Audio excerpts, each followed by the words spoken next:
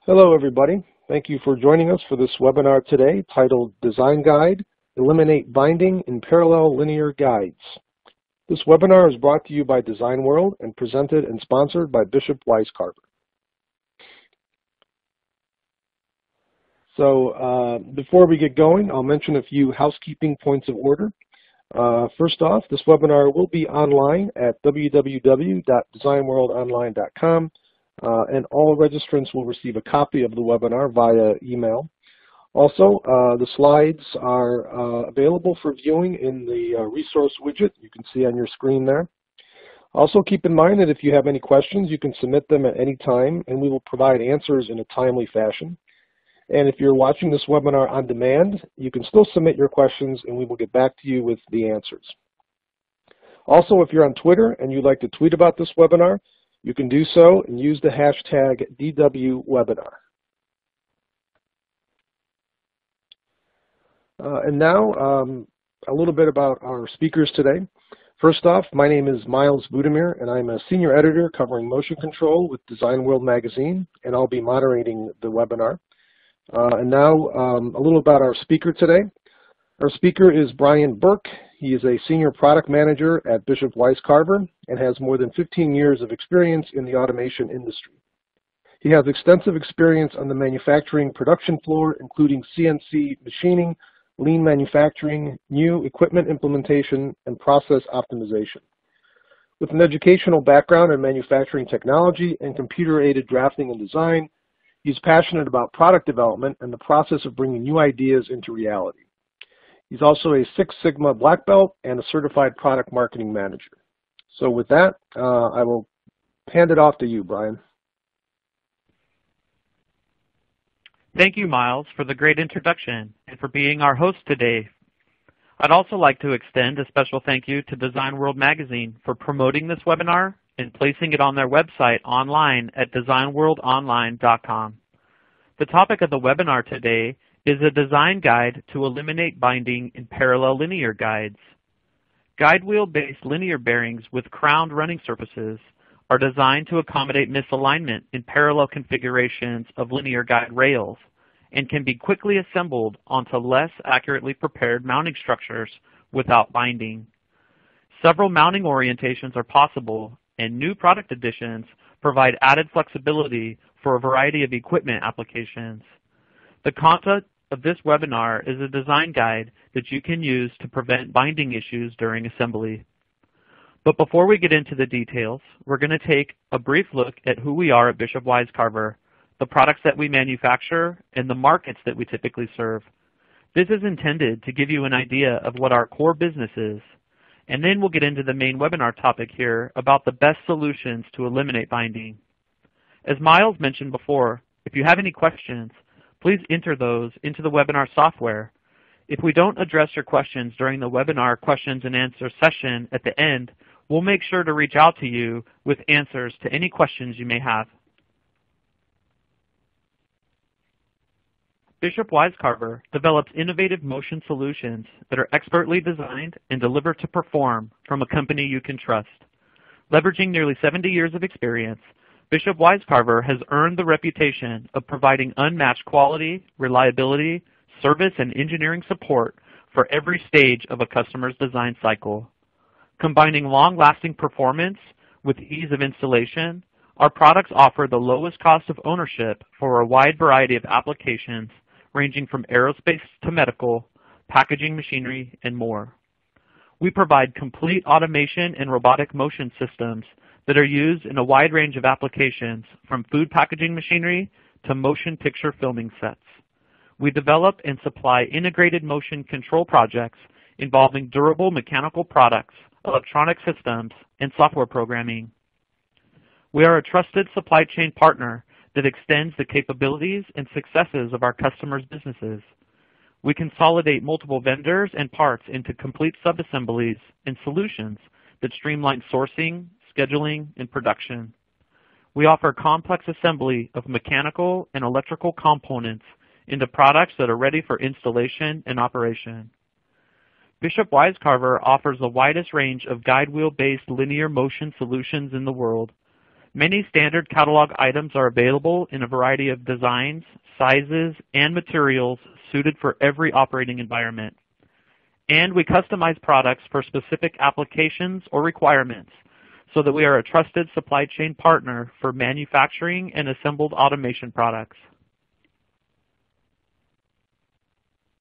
Bishop Wisecarver has a strategic partnership with a company located in England named Hepco Motion. As business partners, they technically support and distribute our products throughout Europe, and we technically support and distribute their products throughout North America. Bishop Wisecarver has been the exclusive North American distributor of Hepco Motion products since 1984. We have many product lines and categories, and I like to explain our range using this image. It's contained within what we call our evolution brochure. On the left-hand side, you can see the individual pieces and parts that are components. The core of our business is based around these guide wheel products in the Dual V product line. These parts can be selected and integrated into equipment or directly onto machine bases or frames to provide smooth guided linear motion. Moving to the middle of the image, we have subassemblies where the components are pre-installed and adjusted to linear elements such as is the case with our UtiliTrak and LoPro product lines. These function as heavy-duty linear guides with pre-engineered design configurations and pre-engineered load capacities. Moving over to the right-hand side of the image, we have our complete actuators that can be combined into gantries or multi-axis motion systems. We also provide many accessories such as drive motors, motor mounts, travel sensors, and a wide assortment of additional items to complete your motion system project. There are also many products from Hepco Motion, and these products are quite unique. In addition to linear guide bearing elements, Hepco manufactures rings and curve sections that can be joined together with straight tracks to make up curvilinear motion systems. On the right-hand side, there are the motion components such as the guide wheels and rings, or even ring segments. Pre-engineered subassemblies are also available with standard guide wheel-based carriages in standard ring diameters.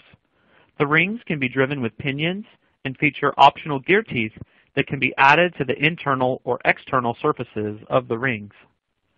There are many different standard ring cross-sections and diameters, and for many of these sizes there are matching straight rails.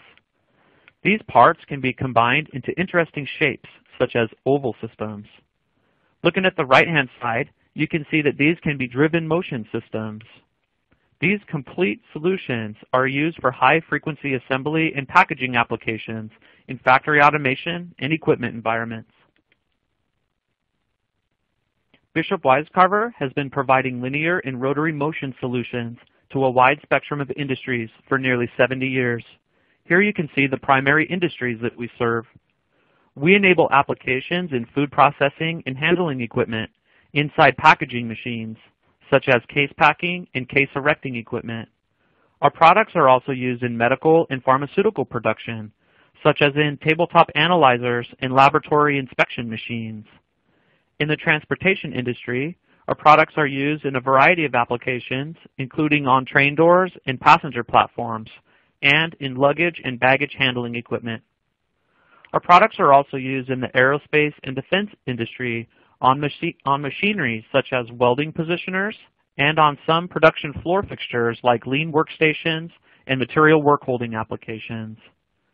In general, the primary utilization of our products is in industrial machinery and automation. This is a very large bucket of industries that has been experiencing growth in recent years with a renewed focus on American-based manufacturing. Industrial machinery includes many different types of machines, from basic material handling to specific dedicated equipment that's designed to complete specific tasks. You can see here that there's quite a wide range of uses for guided motion related products. Okay, so we're back to the agenda slide. We just completed the company overview and the product overview. So now it's time to get into the main content of this webinar and discuss the design guide to eliminate binding in parallel linear guides. Equipment builders often struggle with binding issues during the installation and alignment of linear guides when assembling parallel configurations. extra care and precision in the preparation of mounting structures and mounting surfaces is required to prevent binding during assembly. Additional attention can result in schedule delays and cost overruns when unexpected problems occur. Guide wheel-based linear bearings with crowned running surfaces are designed to accommodate misalignments in parallel configurations of the linear guide rails and can be quickly assembled onto less accurately prepared mounting structures without binding. Several mounting orientations are possible, and new product additions provide flexibility for a variety of equipment applications. This webinar is a design guide to eliminate binding in linear bearings and introduces a new addition to the UtiliTrak product line of linear guides.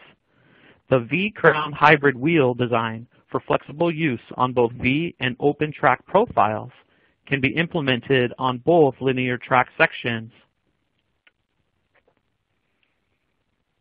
Before we get too deep into our topic, I think it's a good idea to provide a frame of reference for our subject today as I discuss linear guides.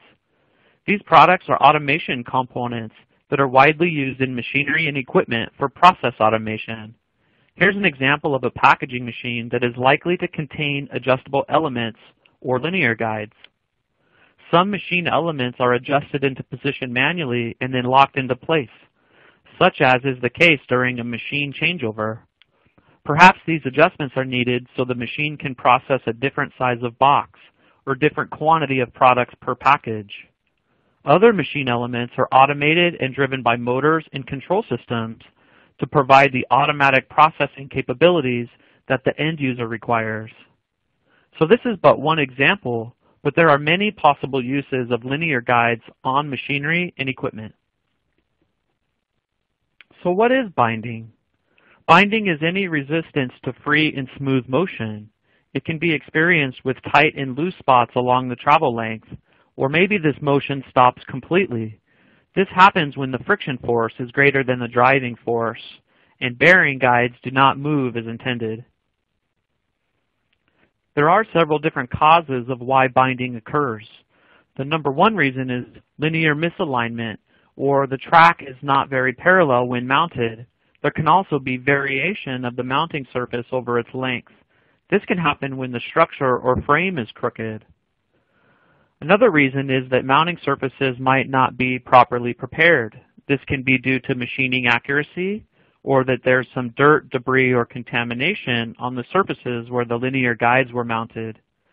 There can also be flaws in the mounting procedure, essentially the way they are aligned to each other, and even the order in which the screws are tightened can affect binding.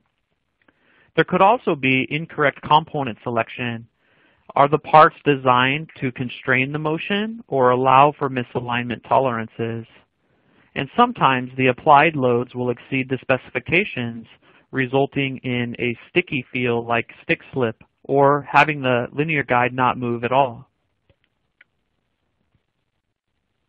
Binding can be a significant problem. Typically, it will prevent the function of the linear bearing and the operation of the machine or equipment as it's intended. So oftentimes, the guide motion isn't smooth or it doesn't move freely and even a situation where the linear guide can't reach its full travel distance.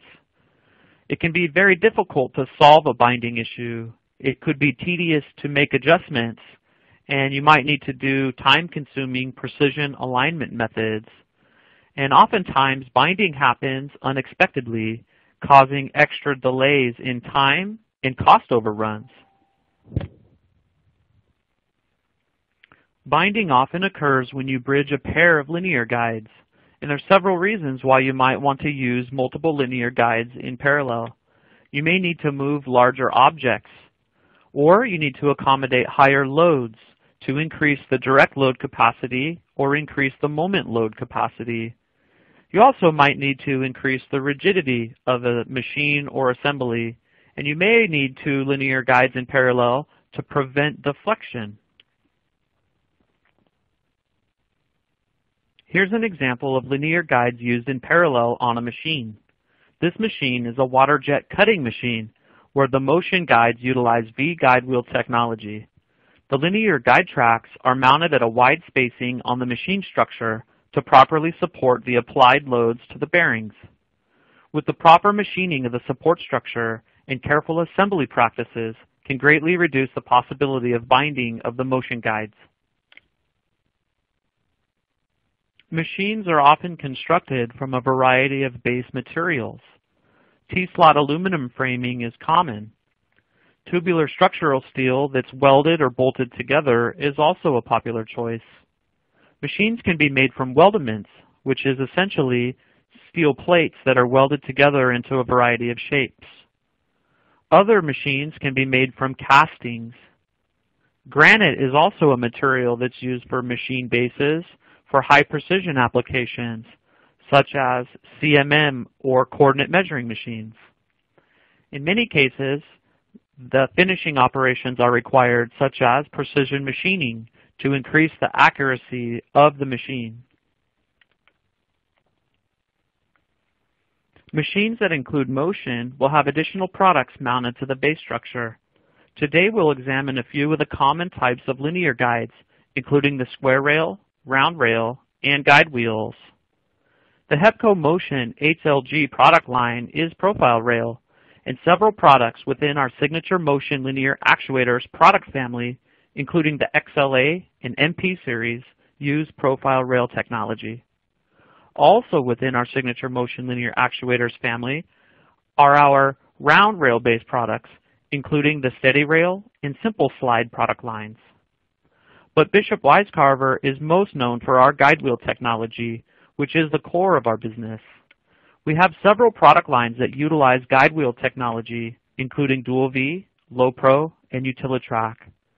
If you'd like more information about these product technologies, we have another webinar that contains the advantages and disadvantages of each type of linear guide. That webinar is available on designworldonline.com under the Webinars tab. Profile rail technology has two simple components, the linear rail and the recirculated ball bearing block. The linear rail itself is usually hardened and precision ground for accuracy. And the recirculating ball bearing block has tiny ball bearings that provide smooth, low friction motion. Profile rail is available in several different versions. The standard version uses standard size balls for a normal fit to the linear rail. There's also a preloaded version that has larger than standard balls that create a tighter fit. Having a tighter fit on the ball carriage improves the stiffness, the vibration dampening, the accuracy, and the precision of the rail. However, these bearing blocks, there is no preload adjustment. The preload is defined by the clearances between the balls and the ball races. Profile rail is a precision motion technology because the linear rail is precision ground to high accuracies. When mounting precision linear guides in a parallel configuration, additional care is necessary. Profile rail manufacturers often have lengthy installation procedures and recommendations that should be followed to properly mount and align profile rail. Here you can see a summary of that procedure. Essentially, all of the mounting surfaces need to be clean and prepared. You would align the first primary rail to a reference edge. That's either a machined reference edge or a temporary straight edge. And then you fix that primary rail in place. Next, you would prepare the mounting surfaces for the secondary rail. These can be aligned using dial indicators to ensure that they are very close to parallel. Once assembled, you would move through the full travel stroke and fine-tune adjust any areas where there's not perfect parallelism or binding is occurring. Then you would fix that second rail into place and move it through its full travel stroke again. Here's an example of a machine that's using a parallel installation of profile rails. This is a gantry-style CNC machine. You can see that the base structure is made from a large casting that's machined. The machining is needed to make a mounting surface and also a reference edge that is very flat and parallel to each other. You can see on the image in the center that the machined reference edge is used to align the primary rail. There's not a close-up of the, of the rail above at the top, but it is also aligned to a machined reference edge. Having two machined reference edges enhances the ability to align two rails in parallel to the machining. Many designs are possible for assembling a parallel set of profile rails. The gantry style CNC machine from the previous slide is designed like the center image, where both the linear rails are aligned to machined reference edges. For this design, the accuracy of the profile rail will mimic the precision of the machining of the base structure. Another design is shown on the left side with the primary reference rail mounted to a reference edge. The secondary rail is not mounted to a reference edge, but it is aligned to the reference rail during assembly. Let's shift gears into another type of linear technology, the round shaft. This is very similar to profile rail in the fact that it has a linear guide and a recirculating ball bearing. In this case, the recirculating ball bearing is a bushing. There are several different bearing block versions for round shaft technology. There's the standard version, adjustable clearance, and self-aligning. In the standard version, it's designed for precision, so it can move along that linear shaft in a tight and controlled fashion. There's an adjustable clearance version where you can apply a preload to the linear shaft by adjusting the bolt. And there's a self-aligning version this is great because it can accommodate some misalignment allowance in the linear shaft when used in parallel. When mounting round shaft linear guides, there are limited options for making adjustments. The two types of mounting methods include either end-supported or continuously supported. These products mount over threaded holes, and there's a limited amount of adjustability when the mounting bolts are installed into the through holes it becomes more important to have the adjustable clearance version if binding in the linear slide occurs. The end-supported versions have some additional misalignment compensation due to deflection in the shaft. If a parallel set of end-supported shafts begin to bind, oftentimes the shaft will deflect and the motion can continue. Of course, this happens more easily in smaller diameter shafting and over longer lengths.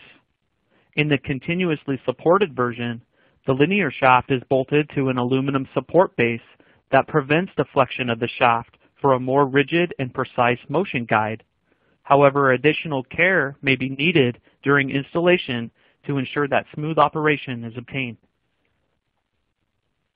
I would like to highlight a few of the round shaft products in our Steady Rail product line. In the Stage 1 or end-supported version, there's two types. Type A has a single bearing block on a single shaft, and Type C is a single bearing block but uses a pair of parallel shafts.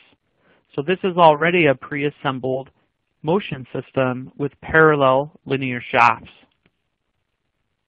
Steady Rail Stage 2 is continuously supported. So you can also have a single shaft mounted to a supported aluminum base, or in the Type C, you can have a pair of shafts mounted to the base. These are also not constrained on the ends, so some alignment is possible between the parallelism of the two shafts. In the steady rail stage 3 and stage 4, we have end-supported parallel shaft installations. And so these are essentially undriven actuators. There are versions that have ball screw drives.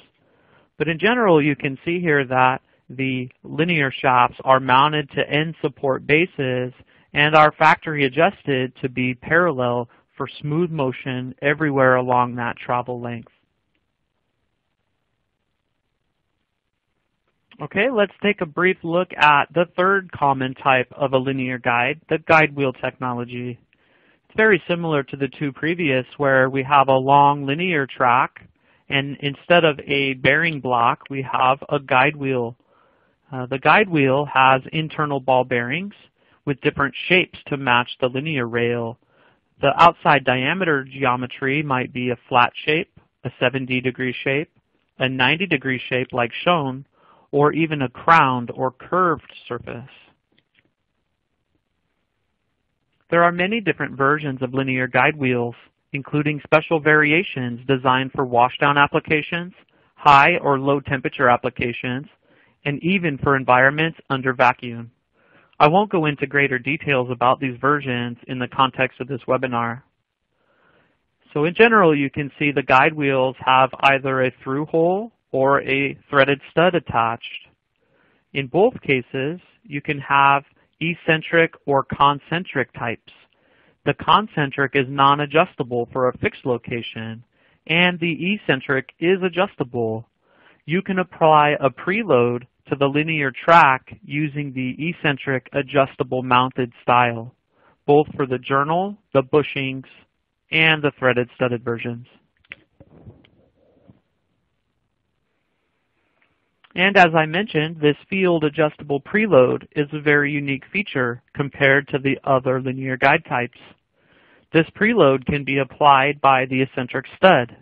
You can do this to extend the usable service life, essentially adjusting out any wear that occurs and continue its use.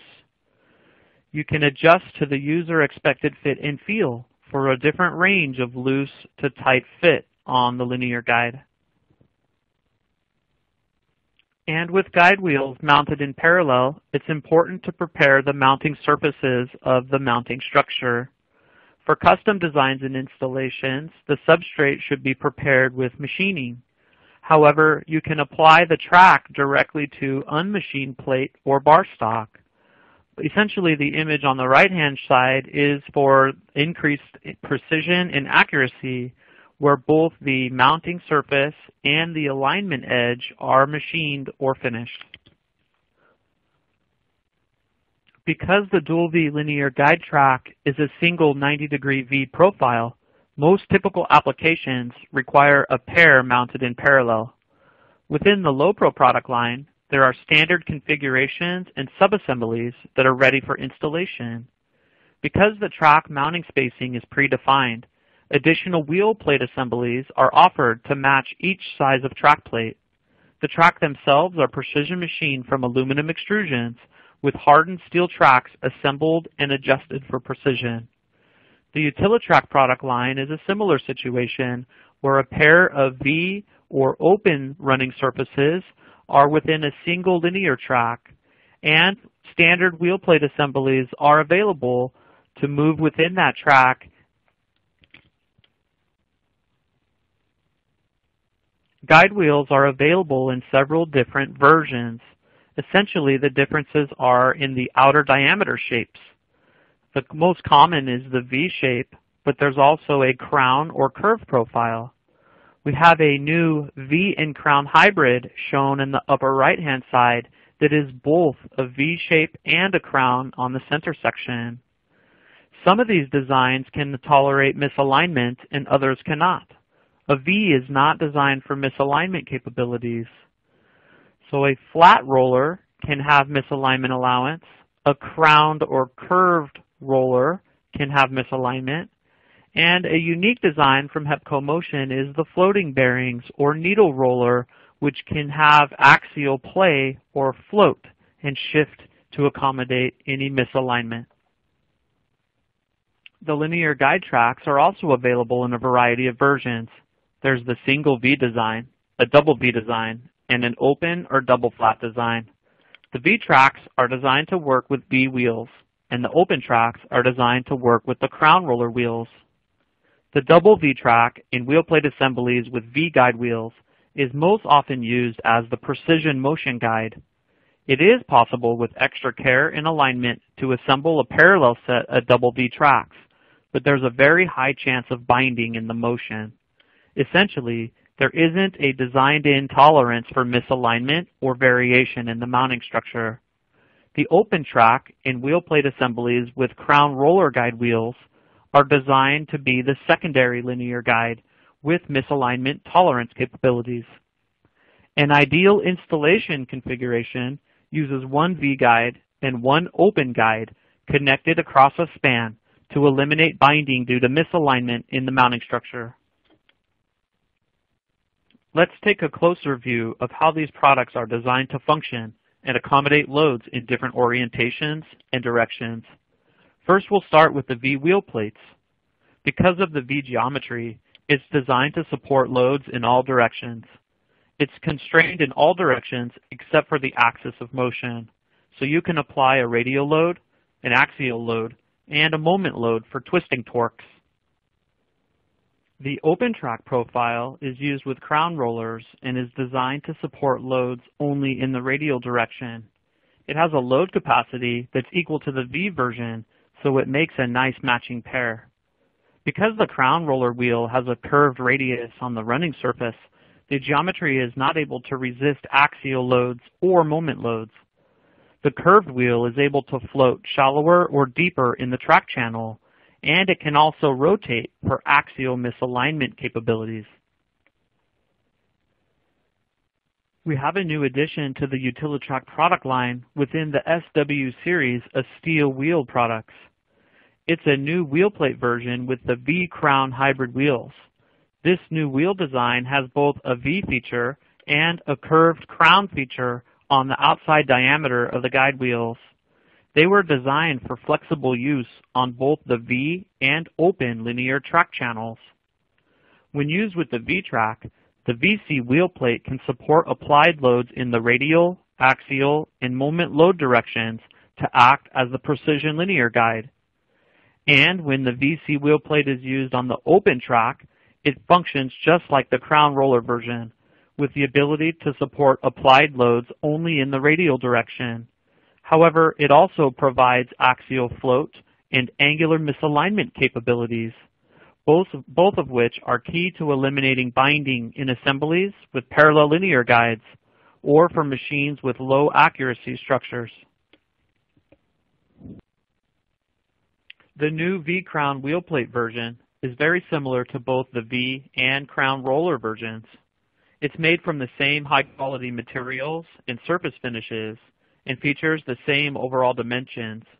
They are, in fact, interchangeable, so an existing crown roller wheel plate can be readily replaced with the new V-Crown version. However, there is a notable difference between these versions. The V-Crown hybrid version allows for a smaller amount of maximum angular misalignment. The entire outside diameter of the crown roller is a radius and therefore it has a large amount of misalignment capabilities, up to plus or minus 7 degrees. Because the VC version has an area of the outside diameter that are 90 degree V surfaces, there is less room for the curved crown feature.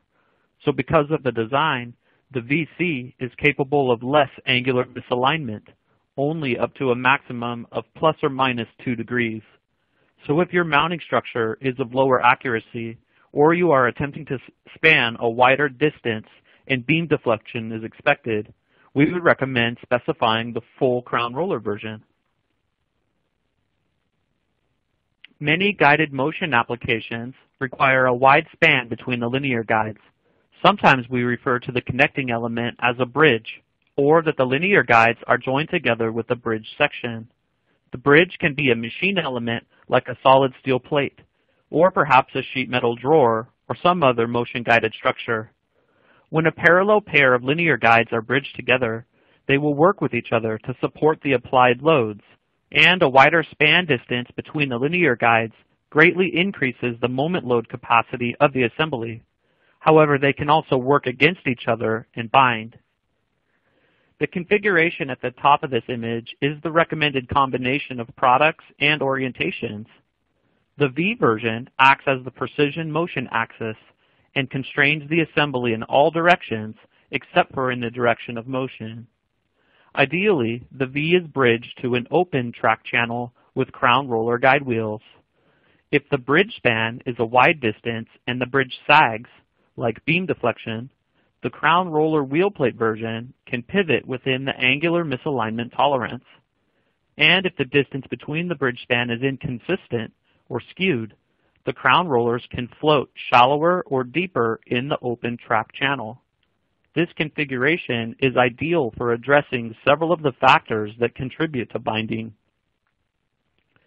Sometimes the configuration, like in the middle of this image, is attempted. It is possible to assemble linear guides into a V-to-V parallel assembly, but the precision of the mounting surfaces becomes a critical factor and unexpected additional adjustment time may be needed during assembly and alignment to eliminate any binding. Remember, both of the V versions are constrained in all directions except for the axis of motion, and they are both acting as the precision linear guide, so they are working against each other. You should always avoid the configuration at the bottom of the image where a pair of crown roller guide wheels are used. The crown roller is designed to function under axial misalignment and to float within the open track channel. They are not fully constrained. With an open-to-open -open track configuration, the guide wheels don't have a surface feature to keep the wheels inside the track channel, so they are able to float too far. Unconstrained motion will allow the crown roller guide wheels to bottom out in the track channel, or worse, fall out of the track channel completely. Here are a few more possible mounting orientations. Let's start with the recommended configurations on the top left. As I mentioned in the previous slide, the ideal configurations are combinations of V and open track channels. In the face-to-face -face V and open design, the wheel plates can stabilize both the radial loads and any applied moment loads.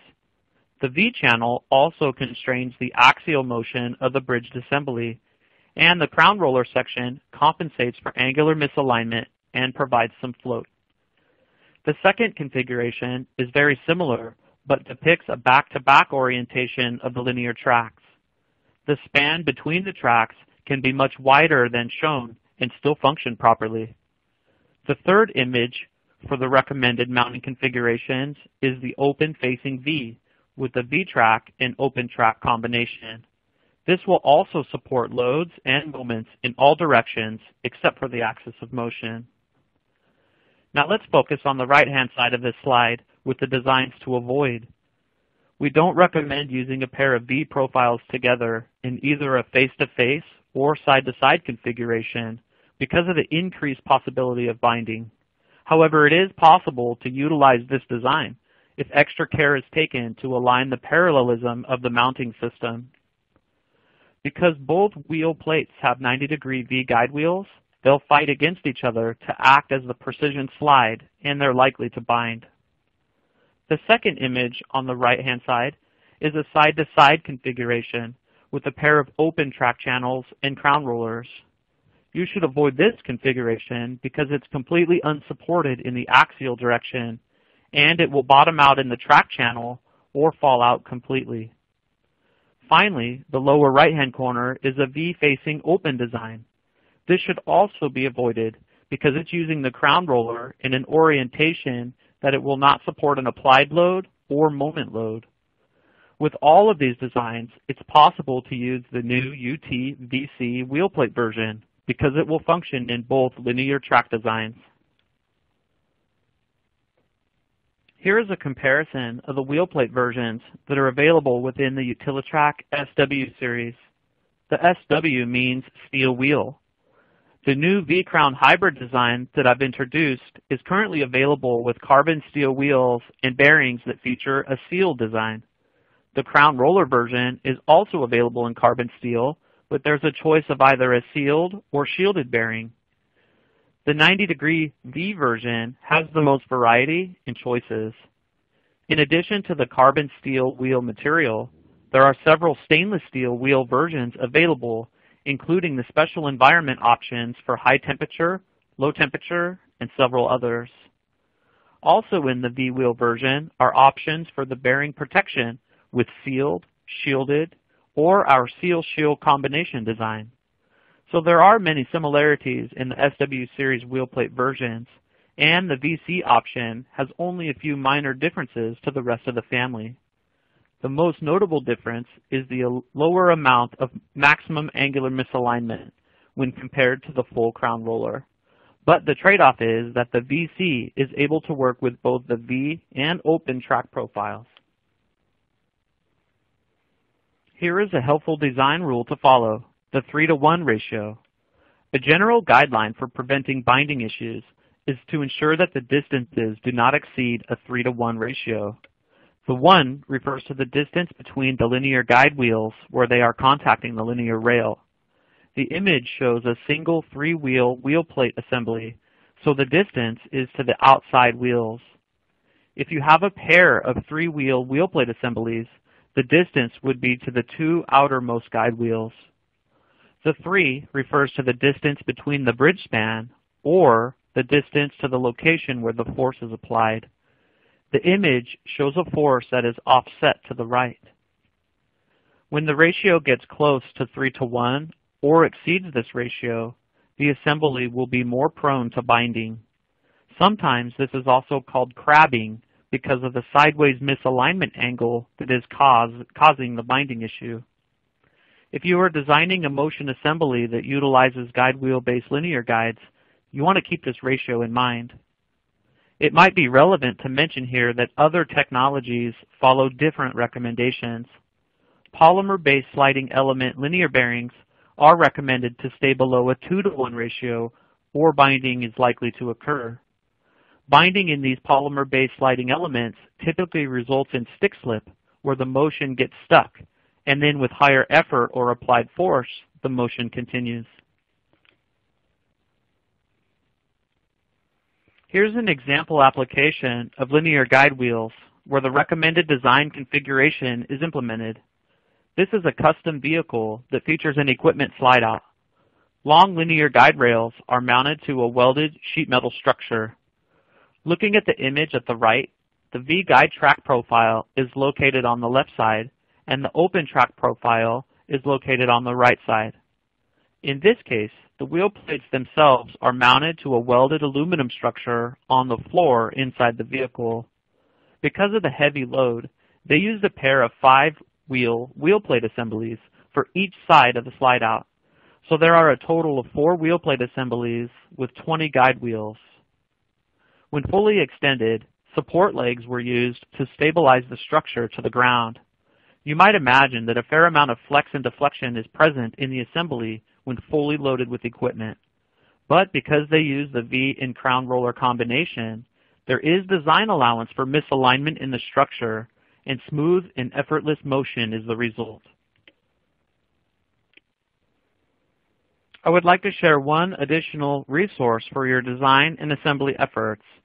We have a white paper that extensively details our recommended procedure for installing and aligning a pair of linear guides into a parallel assembly.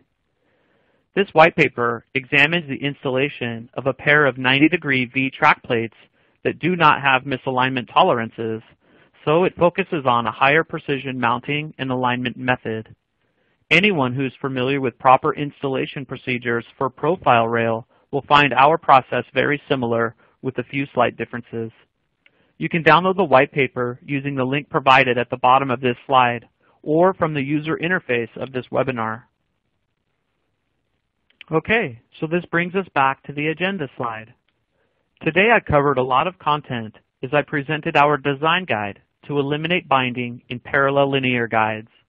I provided an overview of three of the most common types of linear guide bearings with the profile rail, the round shaft, and guide wheels. Each product type has different versions to accommodate misalignment. The profile rail has preloaded balls.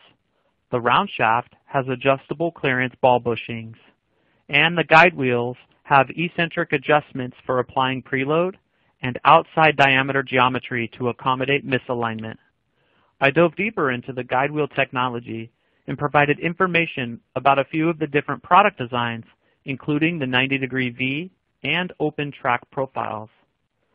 I discussed wheel plate assemblies with 90 degree V guide wheels, with crown roller wheels, and introduced a new design with the V-Crown Hybrid wheelplate version.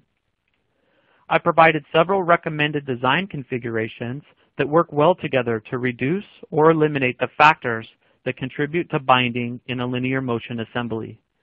These included example product selections and mounting orientations that are both recommended and also not recommended. I hope that you have several positive takeaways from the content of this webinar and that you can use this new knowledge on future designs to reduce assembly frustrations and reduce the time it takes to assemble, align, and adjust a pair of parallel linear guides. Before I pass control back over to Miles, I'd like to once again thank Design World Magazine for hosting this webinar. And of course, thank you, Miles, for moderating today. I think we have some time remaining to answer a few of the questions that were submitted during the presentation. If we don't get to your question, I'll do my best to reach out to you with an answer in a timely manner. We also have several talented application engineers that can support your efforts and answer any additional questions that you may have. So please don't hesitate to contact Bishop Wisecarver. So with that, back to you, Miles.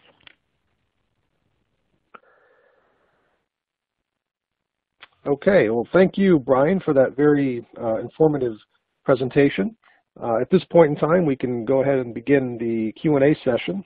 And it looks like we have one question here already that I can start off with. Uh, so the question is, you recommended using the linear bearings in the radial direction and also in the axial direction. Is there a reason to use one orientation over the other? Ah, yes, that's a good question.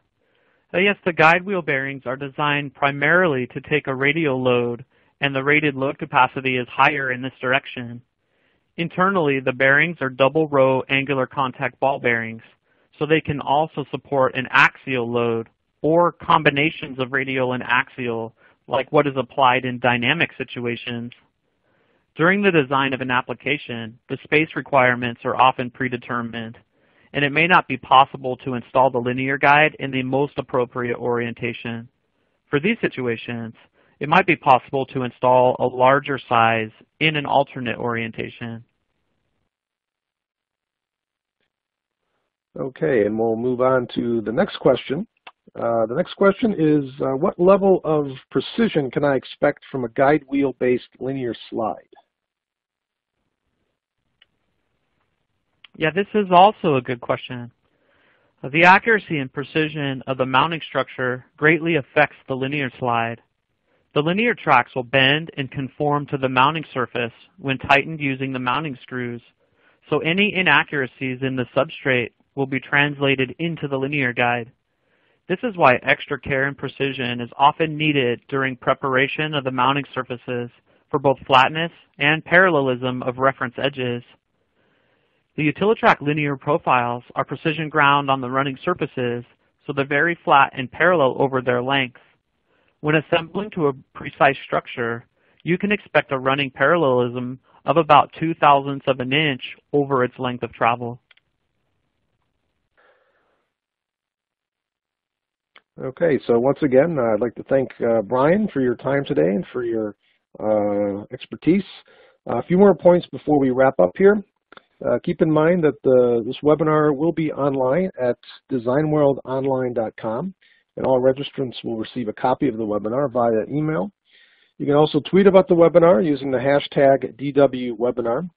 You can also connect with Design World through many of the usual social media outlets, including Facebook, uh, on Twitter, Google+, LinkedIn, and our own engineeringexchange.com. So once again, thanks, Brian, and thank you all for being here today on this webinar, and I hope you have a good rest of the day. Take care.